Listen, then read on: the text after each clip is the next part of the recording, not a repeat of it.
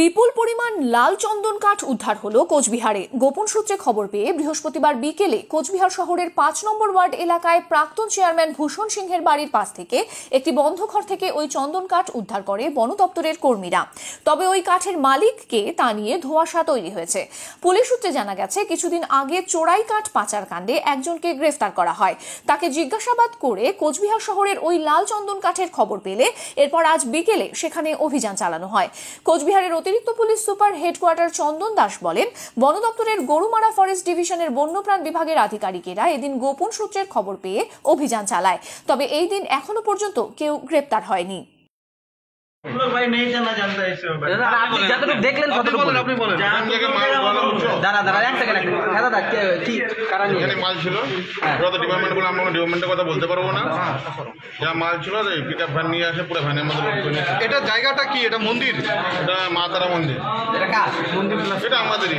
মন্দির plus club ক্লাবের জায়গা। এর দায়িত্বে কে রয়েছেন না সভাপতি? আমাদের আমাদের এখানে সভাপতি কে? ক্লাবের সভাপতি বা ক্লাবের সভাপতি কি তরুণ বর্মন মনে হয়। বলছি প্রাক্তন চেয়ারম্যান কি কি দায়িত্বে রয়েছেন ক্লাবের? না চেয়ারম্যান কোনো দায়িত্ব নেই। চেয়ারম্যান কোনো দায়িত্ব নেই। কত কতগুলো কাঠ উদ্ধার হয়েছে? আমার তো এক পিক আপ ভ্যান দেখলাম এক বুলোরও আর এক বুলোরও নিয়ে গেছে নাকি আগে এটা বলল ওরা।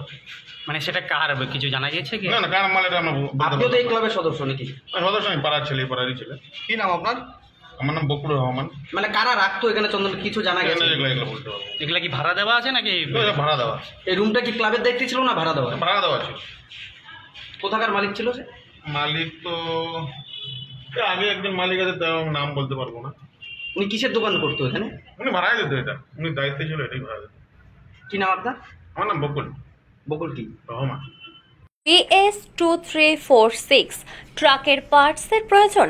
আর চিন্তা নেই। চলে আসুন চ্যাংরাবান্ধা বাইপাস সংলগ্ন জেসমিন এন্টারপ্রাইজে।